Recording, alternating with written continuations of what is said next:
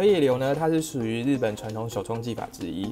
我们老板他在二零零二年的时候呢，拜见日本荷野大师，向他学习了这样的技法。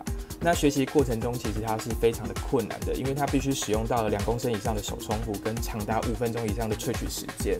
这让他体会到了，就是呃，日本荷野大师他真的为了一杯咖啡所追求的那个精神与信念，还有执着。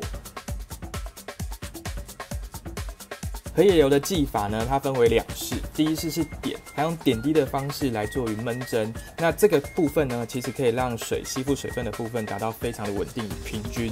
那当焖蒸过程结束之后呢，会开始进入第二式圆。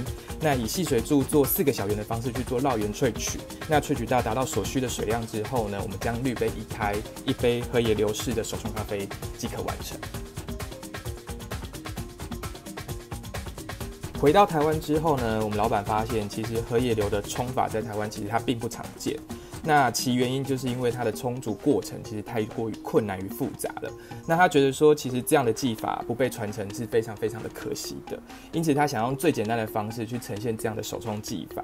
那他经过了一番苦思的思考之后呢，他设计了这款智恩手冲壶。也让河野流坚持的就是定温、定数与稳定的萃取，可以因为这支手冲壶而完整的呈现。